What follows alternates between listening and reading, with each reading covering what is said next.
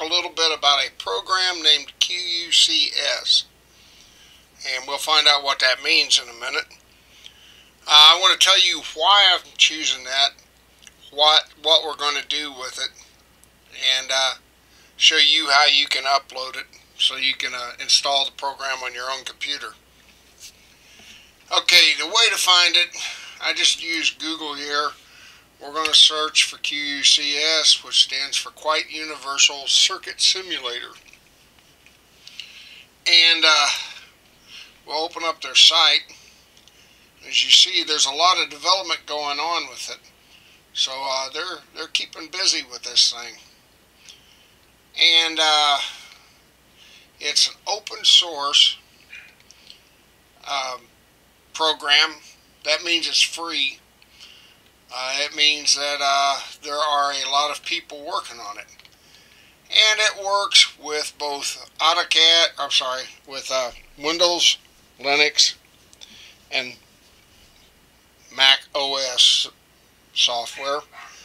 So it will work on um, OS X, I guess it's called. So it will work for all three of the main operating systems. Uh, and for me, you know, Linux is what I was wanting to use. And I had been using an earlier program. But this program uh, is, is nice. Okay, uh, we'll look at some screenshots and you can see what you can get out of it. And we'll be playing with one in the uh, next video. The next video will only be, uh, I'll only be going with DC simulation for a while. We'll be moving on into AC later on. And there's a whole lot of things that this can do that I don't even know. Uh, but we will get there as we get there. Okay, it's multilingual. That's one of the nice things about these open source programs is that there is no borders involved. Uh, we can all work on it. So those of you that have to put up with my broken English uh, while we're while I create these videos, um, and I'm a native English speaker, but I have a funny accent, I guess. And uh, those of you that have to put up with my accent and, and English, you can actually operate this program in whatever whatever language is your native language. Uh, I don't guess they have redneck yet, but anyhow, bad jokes. Uh, and as you can see, there's a download link on this, and you can download it for Windows and OS X, and you can also get it for all the versions of Linux, and I'll show you how I installed it on my Linux. Okay, they even have a roadmap here of what they're developing. The green is completed, or very close to being completed. The red is, uh, or sorry, the blue is stuff that they're working on. But you see, and within each one of these, there's a check mark or an X, and X means they haven't got to it yet. And uh, most of that stuff that's in X, I don't, I don't know what they're even talking about. But uh, it's going to uh, it's it's developing and it's developing very very quickly. Okay, uh, one of the nice things about open source, lots and lots of developers, and they give credit to all the people that do work on it. So uh, you see that there's all these uh, people that have developed different parts of it, and there's a lot more, and they get their credit for their parts too. But these are the major developers of this program. And you see they're worldwide. And that's another reason why I like open source. If there's anything we all already need to be doing, and that is trying to work with each other instead of always being in these fights that the government seem to have us all into. So, I like this. Uh, there's translations, and you see that these various people have translated into various languages. Uh, the joke is that uh, What's a person that can speak two languages? You call them bilingual. Three languages, trilingual, multiple languages, multilingual. Uh, they can only speak one language, American. and unfortunately, I fall in that. But a lot of people don't, and it's great. And so all these different languages are uh, available for this software. Uh, it has a uh, user manual built with it, and I will show you that in just a minute.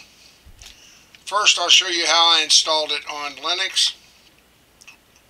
Since I run Ubuntu, uh, they have this thing called their Software Center. Type QUCS. It's the easiest way since we know what it is. And you see I've already installed it. All I had to do was just click on the thing and it was installed for me.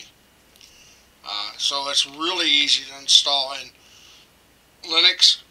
If you're installing it on um, the others, you will load up one of these binaries and the binaries will give you an exe file that you can install. So it works. And it works for all of it, which is one of the advantages I have. Um, okay, so that's basically about QUCS. Uh, the next video will be, I'll show you how to use some of it, what little bits of it I know. Uh, there is some other advantages of why I've used it. Well, as a matter of fact, let's pull that up and I'll show you. One of the reasons, we'll just, we'll just open this one. And I was just learning and playing right here. But one of the reasons that I did it, if we go to components, oops, I pushed the wrong button. was these thing called lump components, which are standard resistors and the other multilingual. We can have worldwide resistor or we can have the American squiggly uh, resistor. But there's a lot of other things that you can do. Uh, some of the other components are sources. Now while we're doing, in my blog, while we're doing our pencil and paper models of transistors. We're going to use those type of uh, sources to talk about it and it's an easy way for me to create the schematics which is what I'll be using it for.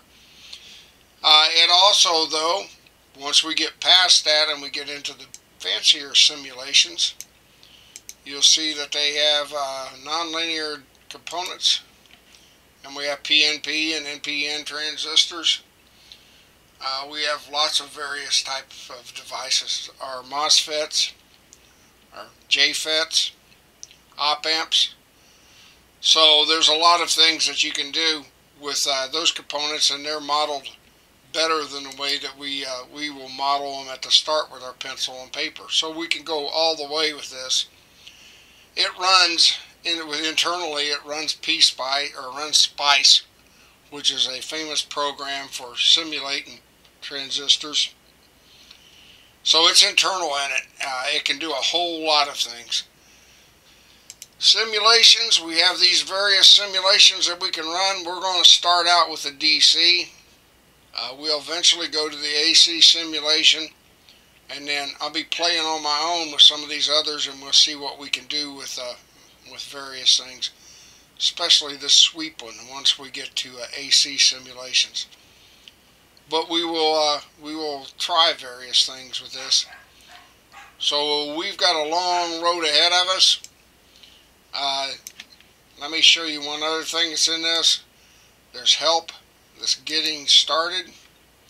Uh, it's really nice to uh, tells you a pretty good help screen if you read it right, which I didn't unfortunately, but I finally got there. Uh, it tells you how you can use it and uh, so it's a little better than what LibreCAD was when I first started with it where there was no manual. I believe they've got a manual now. So we'll be able to uh, grow with this thing. And so I encourage everybody that's on my blog to load it. Again, I'm not a big fan of simulations at the start, and we're not we're going to use it for me to quickly draw the schematics to begin with and then you could play with the simulation at the same time that you do it pencil and paper wise. Then once we get past that we will uh, start using the real simulations which is almost impossible to do without a computer.